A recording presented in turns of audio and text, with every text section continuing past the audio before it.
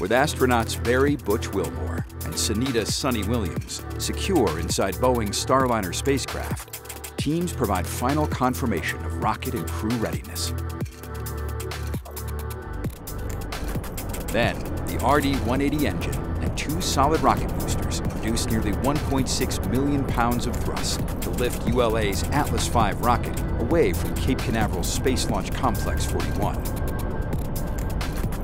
Shortly after liftoff, the rocket begins a pitchover to attain the proper flight path while minimizing the pressure it experiences during flight. Atlas then reaches Mach 1, the speed of sound. To ensure crew safety and comfort, the vehicle rolls to a heads-up position and uses booster engine throttling to limit vehicle acceleration to 3.5 Gs. With propellant expired, the SRBs burn out, followed by jettison. Atlas V's guidance system then activates to steer towards the precise target in space.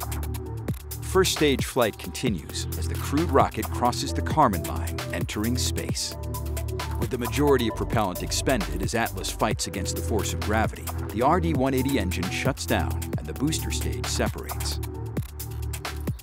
The ascent cover is then jettisoned, after protecting critical hardware on top of the spacecraft and providing an aerodynamic shape for ascent through the atmosphere. With the rocket now weighing less than 9% of what it did at liftoff, dual RL-10A engines on ULA's Centaur upper stage ignite. Following engine start, the aeroskirt is jettisoned. ULA-designed aeroskirt extends the Starliner's surface, enhancing its aerodynamic characteristics and stability, and minimizing the loads of this unique crewed configuration.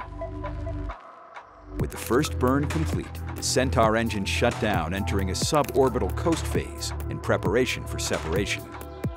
Centaur's trajectory design enhances crew safety by providing a shallow orbit more favorable for an abort if required, and ensures the Centaur will naturally deorbit, impacting the ocean off the southwest coast of Australia.